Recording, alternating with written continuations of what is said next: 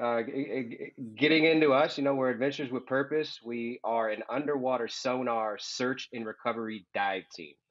Uh, we travel the nation assisting families and law enforcement, and we're able to do so free of charge to both families and law enforcement as well. Um, and it, it's the community that puts us in the position to be able to do what we do. Um, how long has uh, Adventures with Purpose basically been in operation? Um, you know, from what I've read, you you were hell. This wasn't your background. You weren't a diver. I mean, this wasn't what you nope. you you did basically. Um, how did you and Doug end up? I'm sorry, you and Jared end up hooking up and making this thing happen? Yeah, so um, roughly about two and a half years ago, uh, I was operating a towing company here in Portland, Oregon, Elite Towing and Recovery. Uh, I received an email from a diver who reached out to me, uh, stated his purpose was cleaning up water environments by taking trash out. Um, he explained, you know, how he had a YouTube channel with a few thousand subscribers, and that he ran across a car here underwater in Portland. And would I help him? Nobody else would help him, and wanted to, you know, basically said, you know, he, he wasn't able to pay me to pull it out, but if I was able to donate our services come together, we could pull it out for a great cause. And uh, after getting the email, absolutely, you know, I responded back and said, you know, I, I want us to be a part of this. Uh, me and my daughters, you know, we're we're big outdoors here all summer long, swimming in the rivers, lakes. Anybody who knows Pacific Northwest, it, you know, we protect our waters. We're real green up here, um, as we should be. And sure. you know, we Jared, Jared and I, you know, teamed up, clicked. Uh, we pulled that first car out, and that one car that he found quickly turned into over 25 cars that first summer here, just in the city of Portland alone. And, um, when, what, uh, Doug, were these cars, I mean, were they just in, you know, rivers, ponds, waterways, you name it, you know, just wherever he basically came across them? And was it him finding all these and then you came out and, you know, did your part? Yeah. Yeah. Yeah. He was spending his time underwater um, you know, removing trash and stuff from the waterways. His purpose was environmental. And once he found that first car and we teamed up to pull that first car out, um, you know, he just kept running into cars underwater here. And I kept coming out. We kept filming all of these recoveries. And the viewers, you know, when it, where it started out with several thousand followers on YouTube, we start pulling these cars out together. It just started to blow up. You know, people like seeing these cars coming out, the the waterways being cleaned up and uh, shortly thereafter, I believe we were probably at about right around our 20th car pulling out. We pulled out a car unexpectedly with human remains in it. Mm. No shit. Yeah, then that's and that's that's where we were actually on a live stream, and that that's sort of where that is where everything changed for us. Um, and not to mention, in finding these cars, we're using sonar. We're not just Jared wasn't just diving on cars. We're using sonar topside, you know, cutting edge, you know, fish finders, which the public knows them as. And we're not realizing that we're organically teaching ourselves how to read sonar that is extremely rare. Um, and viewers start reaching out to us. We see what you're capable of. We see you finding these cars. We have a loved one that is missing can you come help us? Um, we you know we made that first trip out to you know help her find her son. Her son was exactly where she thought he was, and that's when we really knew that you know our um, skills that we built unexpectedly had a bigger purpose. And now we specifically target cases, cold cases, where people are missing and missing with a vehicle. So in that first one you pulled out and you found human remains in, um, obviously that was a shock. What whose remains were those? Who'd you contact? Who came out and looked at it? How did you identify this? I mean, the license plate does a lot. I know yeah, that, right? Yeah, yeah, yeah, yeah. So, so we we were pulling the car up. Um, Jared found this car in an 80 foot hole uh, in the Willamette River, uh, just south of Portland, Oregon, and we just like it was any other car. Um, I'm there on deck. I have my driver there with the rollback. He's pulling it up. And as soon as the car breaks the waterway onto the boat ramp, Jared's next to the driver's side door and he's like, whoa, whoa, whoa, whoa, whoa, whoa, call the cops, call it. Because he's identifying human remains and the driver's still in the driver's seat. seat belted in, and uh, it was just like zero to 100 in a split second.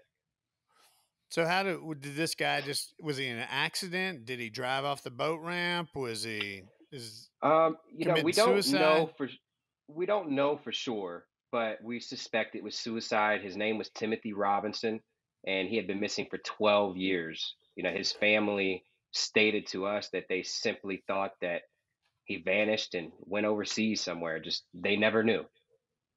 You know, that's gonna be terrifying for like a family member. Like if today, let heaven forbid, one of my children just disappeared. The hole that would be left in me would be Oh, absolutely. You know, and and and I think that's a big part of this. You know, what they're doing is I don't want to necessarily say foul play, but a lot of the missing person um, cases, I'm assuming you guys get involved involved with. Eh, A lot of them are just going to be some of those cars that went off the roadway. Um, you know, ice, a bridge. You know, they they were driving from this location to this this location, and we never heard from them again. Um, and so You're it's just you're that you're absolutely right. it's just that complete unknown and that's the hard part about it it's like man you know my kid my mom whoever it was they left the house and they're heading over to such and such's house and never to be seen again their cars never found you know because Yeah. from you know the um, i guess ones that you know missing person cases that have uh you know unusual circumstances or you know we think there's some sort of a crime you, you're going to find a car you're going to find something that goes man something happened here um, Yeah, but when just yeah. they completely vanish like that, and that's why I think it is just just amazing that you guys are able to get out there and do it. mowing the lawn. Yes, mowing the lawn, whether it be the yard out in front or behind the house, or the one below on the body, Right. or on the backside of the body. right. Or any of those places. But if you're gonna mow the lawn, what do you need? You need a lawnmower, the Well- new lawnmower oh. 4.0. 4.0. It's a big one. They sent us some of these. We tried it out. Not on each other. We've we've done it on the own privacy we, of our home. We did try it out on each other, but we're not going to tell everybody that. The uh, and man, these are awesome. No, they actually they are fantastic. Listen, I have uh, my entire adult life. Um, I have been a fan of body maintenance. I guess would be the term to use. Hygiene. body hair maintenance, hygiene. Exactly, it's for a hygiene thing. Um, and I've gone through different things through the years. And this Manscaped 4.0, the lawnmower 4.0, I'm sorry, that was sent out to us. Uh, it's a great little box. Came with all kinds of stuff, man. You got the, the you got the 4.0 in there. You got a little nose trimmer. uh, You got a pair of underwear. Yeah, and you've got that ball deodorant. You, you No, got excuse me. You have that no no square deodorant. yes, the no no, yeah. So it's uh, it's a hell of a kit that they send out. And listen, for all our listeners out there, whether you are a man yourself and you're looking for something to keep the body looking trimmed up, uh, you yourself have a father, the the young, uh, you know, the wives that are out there and so forth. Get on manscaped.com, get yourself the kit, get it sent out to the house, and then you can use code STICKS on there as well. S T I C K S, manscaped.com yes. Beside the the sonar, um, I definitely want to talk about how you guys use that. But I assume for some of the cases, uh, especially some of the the modern day ones, um, you know, some of the other factors. We'll use that example. Someone's left, you know, my house heading over to Howard's. This is the typical route they would take. There's a body of water or a river. They went missing, and you guys are using things like cell phones and stuff like that as well. Is that correct? Mhm. That that is that is correct. You know, we'll we'll we'll come into this these cases like any investigator would. You know, we're looking for we're trying to determine lost person behavior. That gives us a good idea of where we should look. Are there is there a last known location? Is there evi- any evidence like a cell phone, uh, video surveillance, and you know when somebody's missing and missing with a vehicle, you know I know missing persons cases in a whole is just a really tough thing for law enforcement in general. Um, the overwhelming majority of people who go missing always turn back up. Yep. Um, and Really? there's Oh. and, and there's there's a there's a justification of use of resources agencies have to use, and unfortunately, you know, it, you law enforcement has to be put in a position where they say either a this is something's bad happened here, or b uh, you know this is uncharacteristic. We need to put all of our efforts into it right away, and you know that's that's where we kind of come in after things have died and gone cold, and we're able to uh, put together you know a, a new set of eyes to the case, and also expertise in a real weird gray area that involves law enforcement, which is sonar. Um, you know, a majority of the people that we find are in areas where multiple agencies have already searched.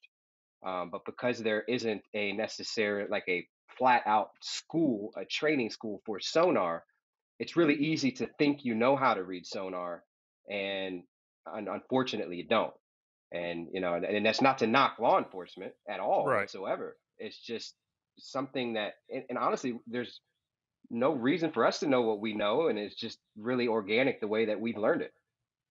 You know, and, and Doug, I'm gonna hit one of the deals. I've kind of written down a few of the incidents. I know you guys have come out and again, you know, found uh, vehicles, found people, and and one of them here that kind of just stood out. You just basically exactly what you're talking about was a uh, a man by the name of Antonio Lopez. Um, you know, Yeah, that was missing out there, and I think it was February of last year, February 2021. yeah, Um, and and Valentine's mul- Day. yeah, and multiple law enforcement agencies, I think the Coast Guard, uh, different groups came out searching an area, body of water, uh, over hmm 10 days. And unfortunately, we're not successful in finding them. And then you guys did come out. And if the information I read was correct, again, just because you guys, as you said, almost dumb luck, you've learned how to use a sonar as well as you have. And it was something like within 10 or 15 minutes, you guys actually found the car.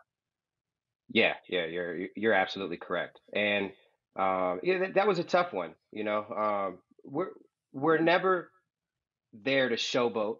We're Sure. never there to cowboy anything. We're just there to help. We really we really understand that the the skills that we've developed are something rare, and we just want to use them as much as we can. Uh, and, and you know, thankfully now today with the success that we've had, you know, law enforcement is just there, open arms. You want to come help? Help us. You know, we've got requests all over the nation for different cases and also to train.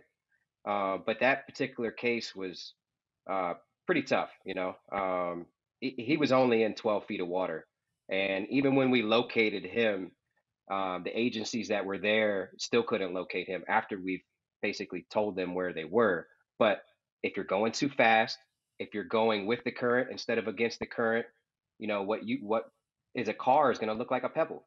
You know, so there's just there's it's not a knock on them. I'm just glad that we were there that day to to help find him and uh, bring him home to the to his family.